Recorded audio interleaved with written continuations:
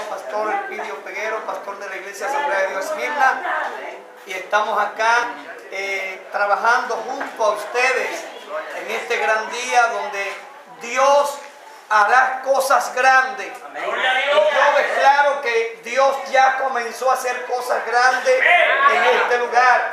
Bendito sea el Señor. En el capítulo 8 del libro de San Juan, Gloria a Dios.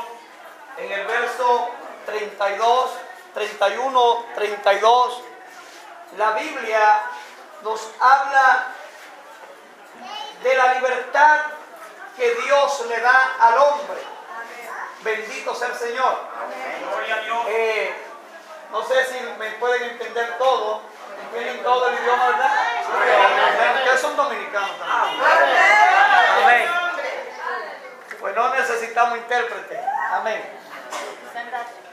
Pues bien, la Biblia dice así en el nombre de Jesucristo.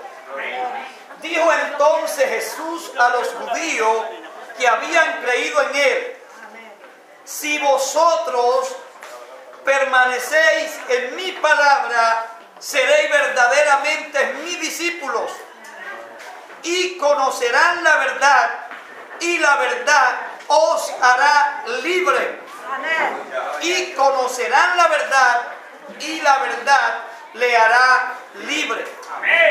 En esta tarde queremos hablar de la libertad que Cristo ofrece al hombre.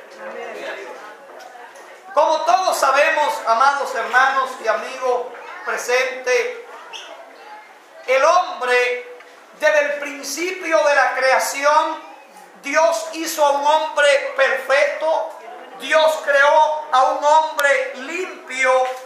un hombre que no tenía ningún tipo de pecado.